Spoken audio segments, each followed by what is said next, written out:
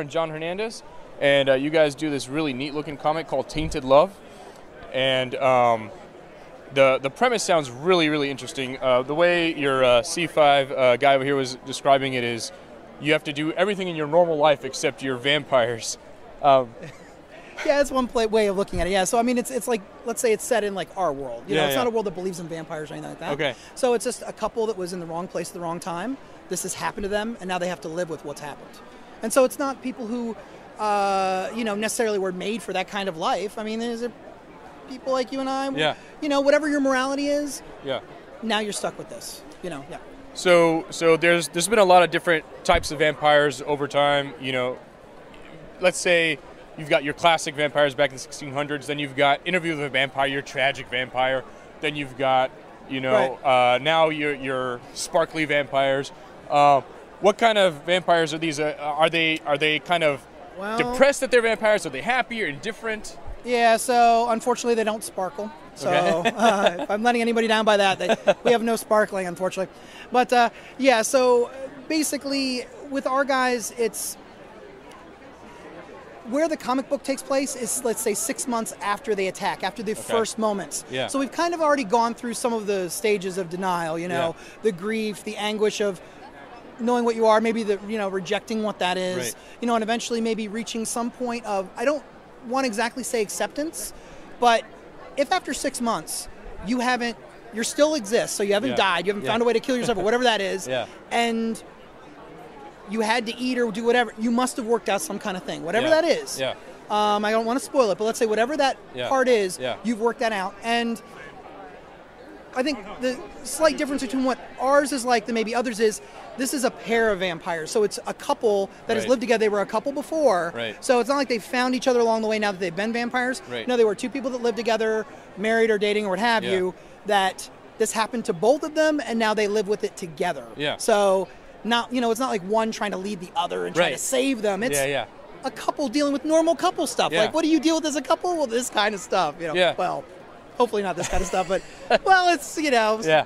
But, But- on top of that, then Yeah. there's serial killer stuff that you've had to figure out. So it's hard enough to get along with someone that you're dating, but then when you have to add, we have to kill a lot of people on the way.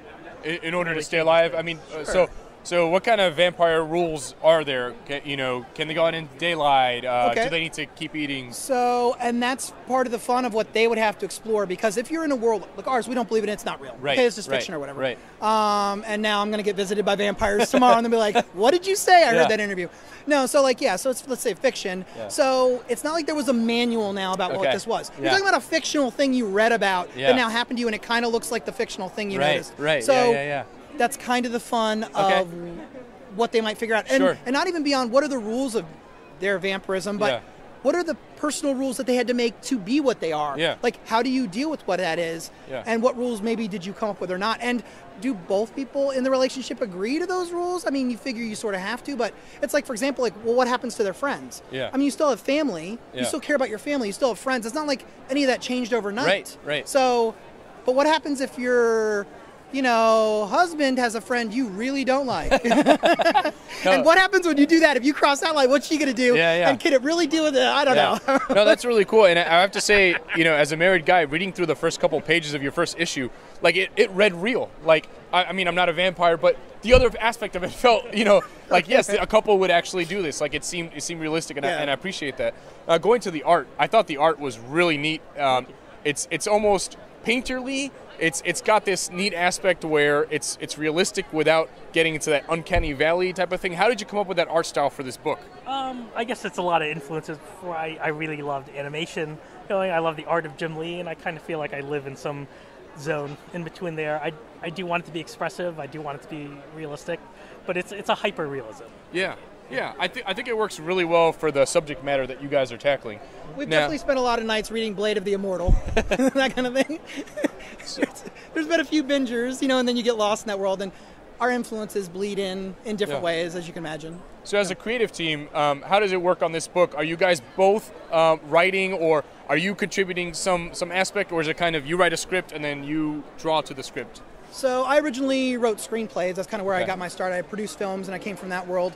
And I originally wrote screenplay treatments before him and I decided to tackle like, well, where in this story would it a comic book kind of take Yeah. place. So I bring the story to it, but honestly, with the way our creativeness works, I mean, he's the entire art department in that sense Yeah. and capacity.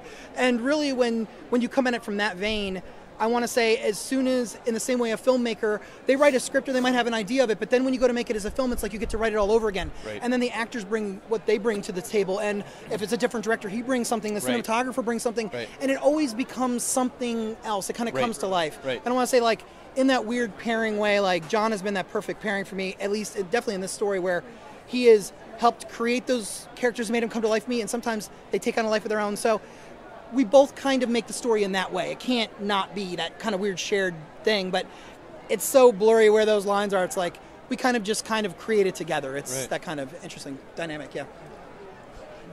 like he usually he gives me film scripts and I sit Okay. there and I see the movie in my head.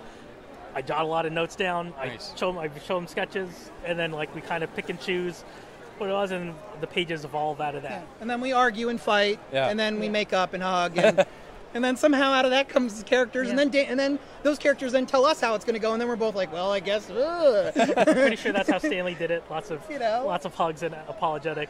I, bottles t- I of tell the story, then he starts to draw it, and then they're looking at other characters on the page, looking at us like, what the heck did you just make? And we're like, okay, fine. Then you got to get out your eraser and Yeah. start over again. But yeah. And does uh, so I, I only looked through the first issue. I, you guys have the first three here.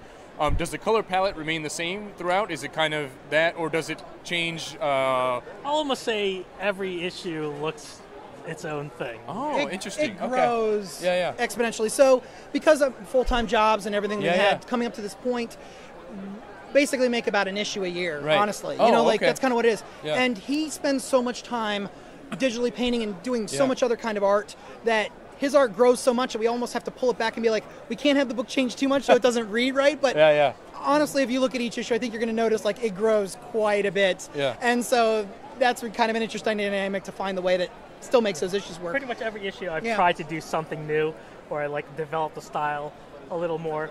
Um, I mean, I, I, I approach color the same way, but how the color gets on there Okay. is Yeah, done yeah. different. Yeah. and the different so what we're doing right now is we're we're just now even next week we're opening up a comic book toy collectible shop it's also going to sort of be a home base for c5 studio which is us the publisher and we're publishing other books i have another new book coming out called the beast within Okay. um, which is like a werewolf dynamic yeah. but still sort of let's say set more of like a mo- you know like Yeah. a real world feeling not like Yeah. the mystical one um, and we're going to be together publishing other books other books together he has new bro- pop projects like drift and other projects to Okay. kind of peek at here at the show and um, and we have even others we haven't talked about and we're even picking up other like artists and writers and Nice. creating a full-fledged Yeah. dynamic so that we can produce way more books a year and so it's not like one book a year from Right. one group of people Right. it's going to be a lot more product coming but this was kind of like our culmination to at least get the one two and three is kind of like a really nice story put together Right.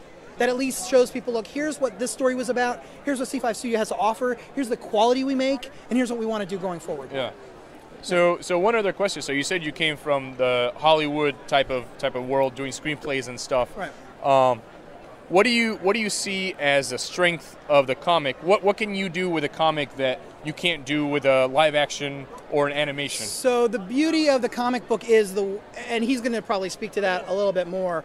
But we started off together. He was doing storyboards on the films, so like the storyboards are single panels that move Right. as like you know like a, almost like a flip book, Right. as, as close as you could get this thing to be animation. Sure. The page is such a different dynamic. He would have to probably explain that better because it's more like a piece of art. It's Yeah, a, yeah. It's a different kind of nature to it. Yeah. You'd have to But, kind I mean, ironically, our first story is a story of two normal, everyday people. So it's not something so fantastical. It was meant to be filmed. Um, so we're never quite doing anything out there that like you couldn't be filmed. But I always think that's the strength of doing comics that you have this unlimited budget that fits in, you know, a, an eight by ten space or whatever Yeah.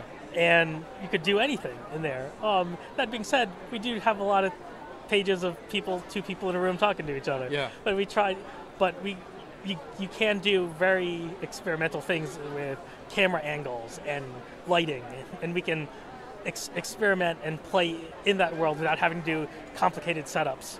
Yeah. Um, and and I do think we, like compared to other books that I've seen, and I'm, I'm sure there's some out there, but we really do approach it like cinematographers. We, we, we place cameras, we light the shots, we care about the color and what it says to things how like Yeah.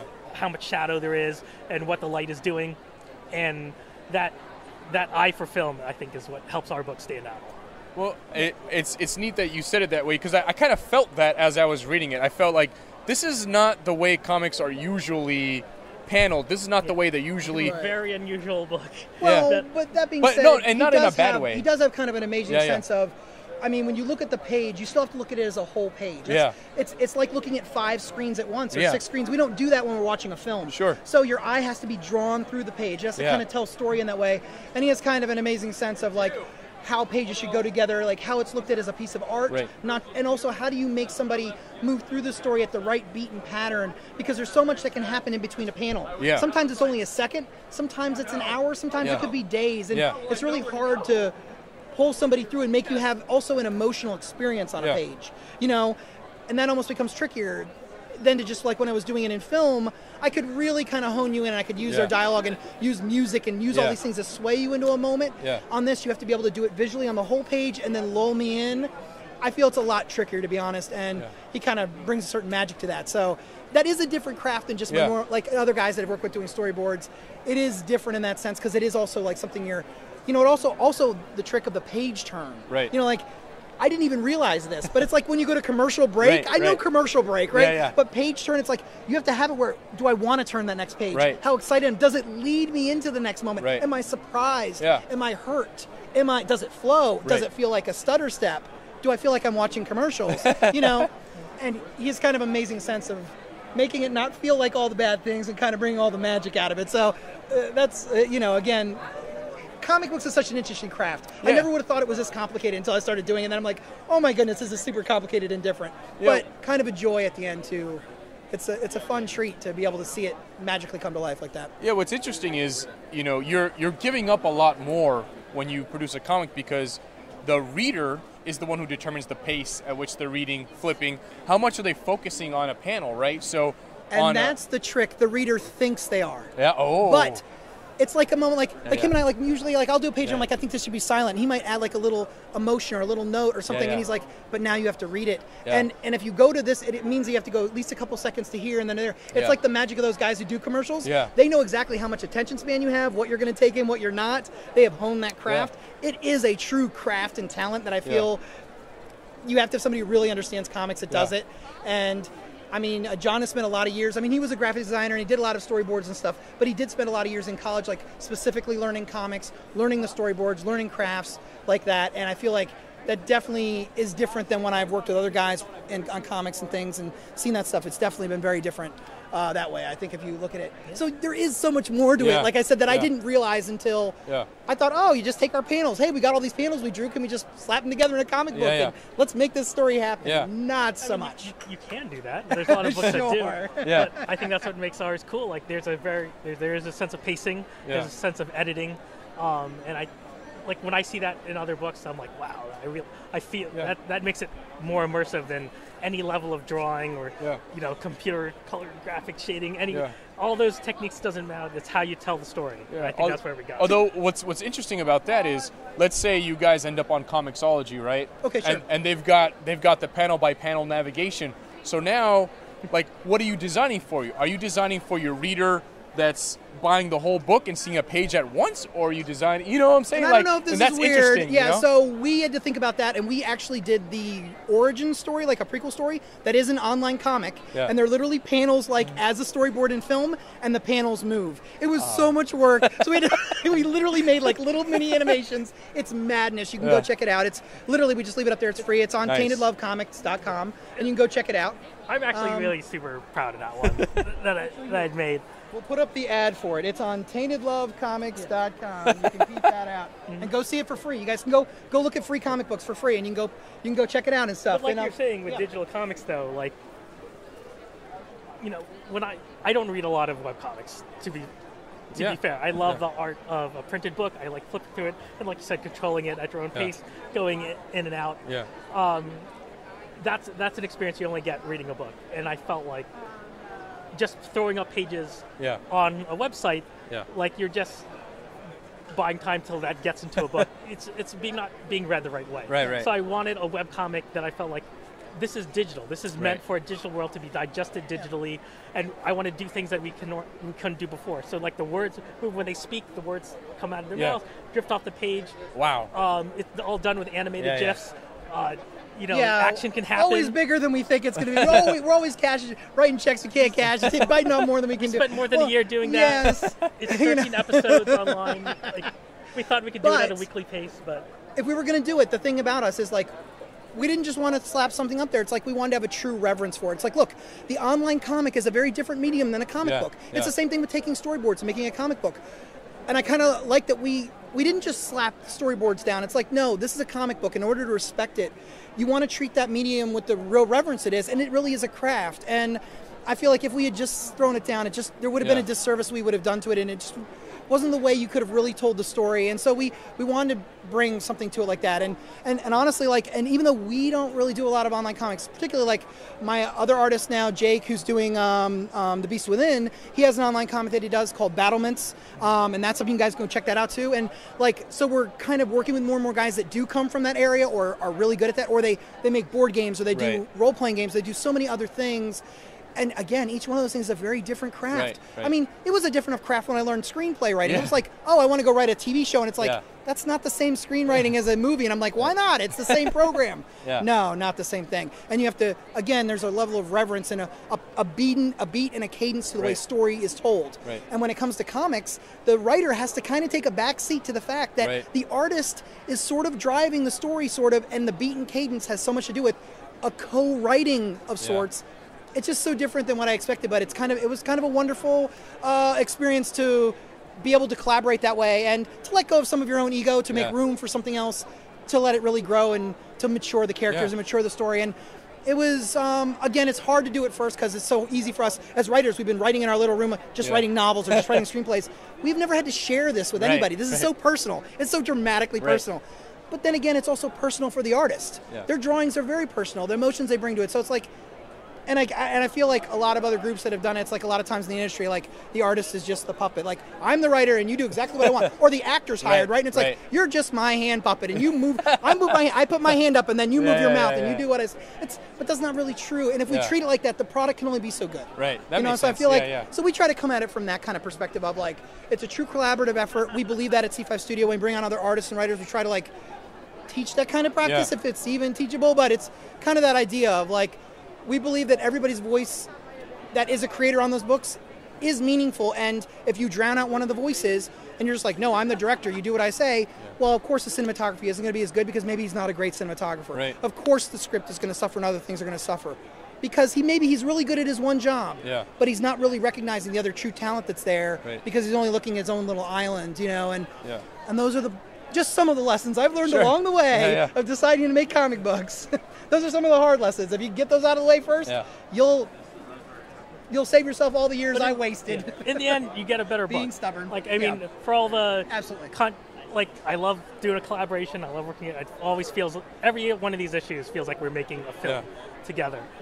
And but when whenever we have you know disagreements or like how how to approach the scene and we have different ways of looking at it like we always feel like it comes out to we choose what's best for the story so what you're getting on that page when you go through issues one two and three like this is the best version of the story that we can tell Cool. we've, So- learned, we've learned to compromise, and it's basically like, well, even if I disagree with something or he does, we kind of try to reach a place of like, let's try it. Okay. And neither one of us would say, okay, well, we're not going to say this is how it's going to go, but let's try it. Yeah. And I got to tell you, there's been way too many times when I was like, decided I was really wrong, Yeah. you know, and I was like, this really did change my way of looking at it. But it's hard because, again, when you create characters, they're kind of yours, and so Yeah. it's really hard to share. Sure. But, you know, but uh, part of that was a growing process too. We've been together on the book for so long that he knows the characters as well as I do, and we brought so much together that they really are ours now together.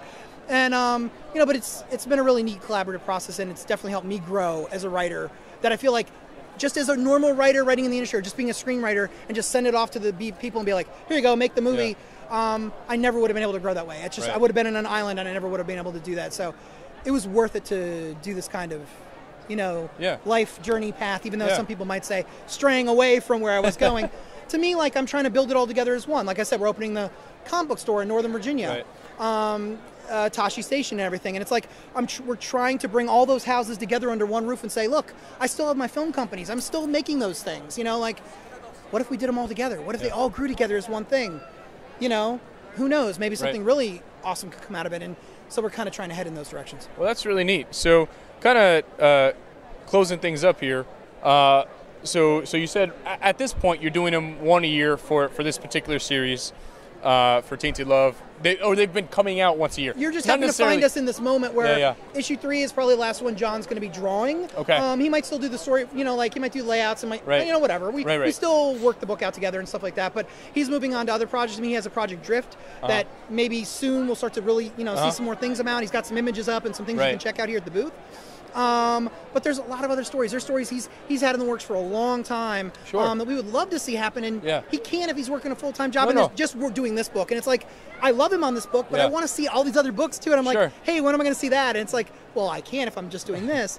And so we're trying to transition where it's like, well, what if instead of us working for all the different people we're working for, what if we worked for a comic book store slash sort of our business Yeah, yeah. and just grow the business? Then we have more time to draw, more Right. time to write, more time to meet the fans. More time to really grow it as a publisher, and that's Yeah. what we're trying to do. So it's very possible we'll get another artist to come on to do Tainted Love, and it might be a lot more issues a year. I kind of think in this game, we can probably do about three issues a year and that's kind of tapping out. Yeah, yeah. You know what I mean? Like because you're still doing another job. It's like until we get enough funds to where it's like we Yeah. can just have somebody Yeah. just be an artist. I can just pay him all day long to do it. Yeah. We're using other mediums. Like, well, how about run my gaming area? How about run this? Or how about Yeah. run this department? Or how about do run an online store? Yeah. We're, we're, we're kind of having to like find other ways to make money so that we don't stress the book out to force this to make that money. I wanted to keep this very low print but very high quality. Yeah. So issue one only has 500 print. Issue two has maybe 250 Right. print. You know what I mean? Like, and it's not because I couldn't sell thousands of them. It's because I want. We're just trying to build it up so that when we go to Diamond and Nationwide, Right. we'll change out all the covers, make it so these are kind of special, Yeah. and you get something, you know, the biggest hit and the freshest thing. Yeah. So this is just kind of keeping it alive to be out here so you can see us. We are in the industry, but we don't want to overdo it yet. Yeah, you yeah, know, no, like yeah. we wanna bring and- equality. And don't feel bad. You know, Brandon Graham is a you know writer, artist in the industry, and for multiple warheads, he's putting out one, uh, maybe one or two a year. So you're not exactly behind some of the professionals out there either. Okay. But uh, where do you see the, the comic going? Is it an ongoing? Do you have uh, an end in sight? Uh, So I could, and again, I mean, really a lot of it depends on like uh, who's on the book at the time and what our other projects are on the table. I could, in theory, write 75 issues Okay. and not be tired. So Yeah. let's call it an ongoing. Yeah. At the moment, the first seven issues would be an arc. Okay. Uh, but the first three issues is a really good like it could be compiled as a reader and be a really good like real solid pilot episode or Yeah. like a double episode in a row like Yeah. hey we're going to give you a two uh, you know a two hour Right. something Right, or right, whatever hour and a half opener right, right. i feel like it's a solid that Okay. to say hey that's what this book can be Yeah. but i have so many other stories to tell and so many other things i want to do Yeah. that the answer is yes and obviously a writer can be writing a lot more things and Yeah. artists have to really draw it out yeah, yeah. um, you know, yes, it could be ongoing, and I have Yeah. plenty of story to tell. Nice. So, for fans of Tainted Love, yes. For fans of Beast Within, once that finally starts happening, that is a very self-contained story that's going to be about six issues or whatever. You know, maybe seven max. Uh-huh. Um, I'm not saying there could never be something else beyond that, but it was really meant to be a self-contained, very specific thing. How about the one you're working on, uh, Drift? Drift, Drift will probably start out as a graphic novel, Okay. like an extended issue, sort of like a pilot episode. yeah, yeah. And I just kind of want to feel it out and see what people, how people respond to it, Right. and then I'll decide how, like, um, it definitely has. It's a, it's a, it's a story of uh, uh, set in space. Okay. Um, in kind of like an alternate future universe where it's, um, but it's centered around like the galaxy's most dangerous race. Oh, nice. So Okay. there's definitely an end. There's Yeah, a yeah. finish line to it um, that's designed. So depending on the response to it, like you know, do I want to tell this in a succinct way, or do I want to, you know, drag it out, or like I can always revisit it and see different phases and, and see the same race from maybe a different character's point of view. That'd be really neat. I, that, that's something that is not unheard of in comics, but it's definitely much more common in prose. I think, excuse me, something like that would be really neat. I think something like see. like Akira was was was stretched out. in, I want to say maybe about six novels. Yeah. They were kind of thick, but they were you know maybe. Yeah. But it definitely had to be beginning, middle, and end. Yeah. I want to say like in that same way, maybe Drift has that same life, but how much is in the middle is Yeah. really about how much the characters speak Yeah. to you. And there's definitely been times where we wrote some side character, they were like, this is not a throwaway, but you know, Yeah, like it's not meant to go on too much. He's meant to fill a task. And they just speak to you so much, and they you keep coming Yeah. back to him. They endear you, Yeah, yeah. And then you find yourself writing a whole series, and now he's got a you know, he's in the race or something. Has one line in someone else's story. Yeah. Like has a whole rich adventure on his own that Yeah. you've never seen before. Well, that, and that's what I like about the different POVs is it, it, it grounds your universe. You know, these are people that have other lives outside of the main characters' lives. You know, so one one final thing, which is uh, you guys mentioned the prequel to Tainted Love is is on. Was it, did you call it a prequel? The, the anime Well, gifts. Origin you know, story. So okay, so the comic book starts six months after this had happened to them, right? So, so we could get through some of the muck of it and Yeah. just get right into like, shall we say, more of the fun? I don't Yeah, know, yeah. but, but it- Yeah, yeah. more of a pace that a comic book works with better. Yeah, yeah. Um, but when we did the online comic, we didn't want to retread the same material, so I went back and started to tell like maybe how this could have happened okay. um, but it would be more like the pacing of a film. Yeah. You know, and so you have the first 15 minutes or so where you can get to know the characters and stuff. If we did that, the first comic would have been them, them going to the grocery store and hanging out and, Right. I don't know, going to work. Like, Right. uh, nobody Yeah. would read this comic book. Yeah. So it was kind of more like that. It gave us a, a way to tell a different kind of story. So, would You you, recommend, in terms of spoilers or those type of things, someone save that till after they've read what's out already, we or at least the first sure issue? there was nothing that could spoil the first issue. okay. Okay. Um, honestly, maybe even the stuff we've already even said in this interview, maybe could be as close to spoilerish, is more spoilerish than let's say what's Okay. online. And even that we didn't really say anything. Okay, really. yeah, yeah. So you know what I mean? Like I would say the one thing that isn't necessarily clear to somebody who picks up issue one off the newsstand is both people a vampire.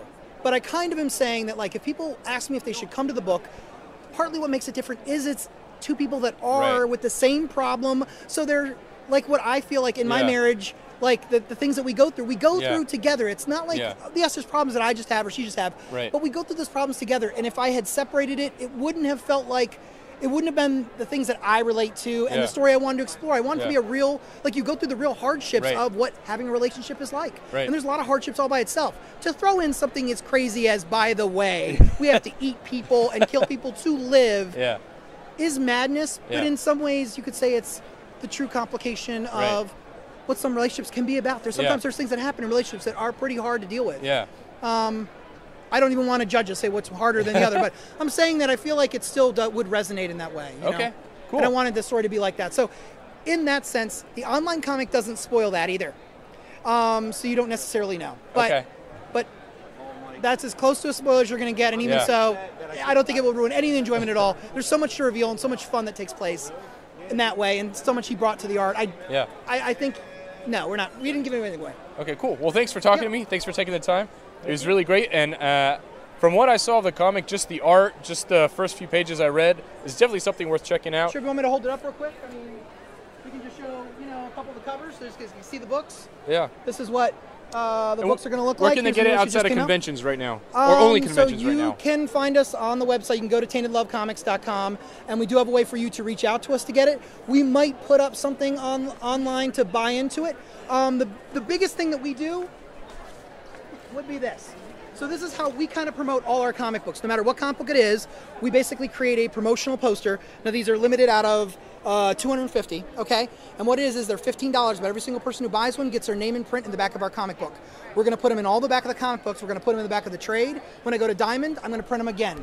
Those are our like 250 supporters. So like, and I'm never going to have any more for that book. So no matter how much life this book gets, how many issues it goes on to, if it goes on to be a great success or whatever, I still will always have this 250 supporters that I will keep printing and being like, those are my people. and so that was like our Kickstarter. I didn't Yeah. want to do a real Kickstarter and have it be like, hey, I don't have any comic book or anything to show Right. you, but give me money. Yeah. I was like, no, you know what? You can read the comic book right now. If Right, you like it, right. you can support it. And Right. so to me, this is like what we mostly do, like when you reach out to us. Yeah. But if you want to get the comics, there may be a way to do it. And we're going to do way more shows. I'm going to have a store now, so you can come to the store and literally Right. buy them. Right in the store, we're also at Flashback Comics in Flashback Woodbridge. Comics. Flashback has been a huge supporter of us, and so if you reach out to them, they oftentimes Okay. have comics. Um, but yeah, I mean, again, they're very low print, so Right. if you want it, you need to reach out soon. I might only have maybe 20 or 30 copies of the first couple issues left, and we are going to do a collected one, two, and three, and I'm working toward like Yeah. having it out there. But I didn't want to ruin the the beauty of like you're getting something limited or exclusive Right, or right. look if this It's the get- first if it, if it gets where see. it's going to go, Yeah. I want I want to hear that people are like, hey man, we sold your book online for four hundred dollars. Yeah. That's great. I'm Yeah. happy to hear that. I'm like I'm not going to be like you did what? Yeah. Give me my cut. No, it's I I want. I want people to look. They invested in us. Yeah. I want to give them something special. I'm a fan first. Yeah. I buy other people's books. I'm into this stuff, you know. And so it's like I, I want to give them something special that I at least thought was special. I can't promise it's going to be worth any money, but uh, but I hope so, and, Yeah. and and or I hope they just like at least treasure it and cherish it. And it's like, and you have something neat and exclusive from us Yeah. that made it worth meeting us, made it worth going out of their way to find Right. us. Awesome.